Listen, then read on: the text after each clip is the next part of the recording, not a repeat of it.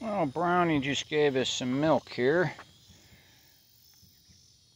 Got about uh, two cups of milk.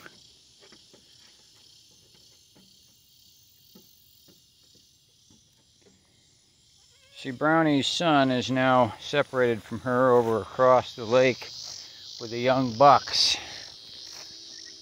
over there.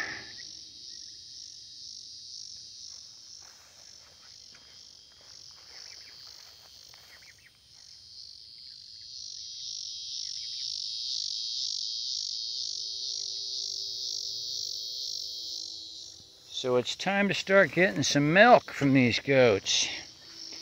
Well, I had her up on the milking stand and she had a big tray full of feed pellets. An unusual treat to get that much feed.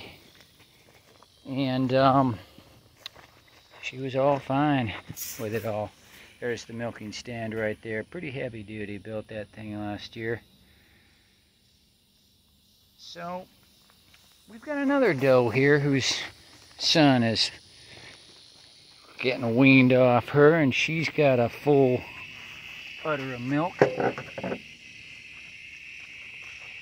This is her right here, Estella. Wow, look she's the way she's walking because she's full of milk. So I'm gonna bring her over and get some milk from her too. Wow, look at that udder. Now she had the baby nine months ago and she's still been giving it milk. Right, Estella?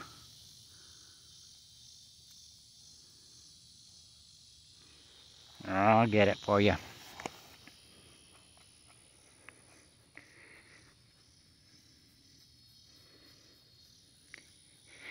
They show you where they want to get scratched.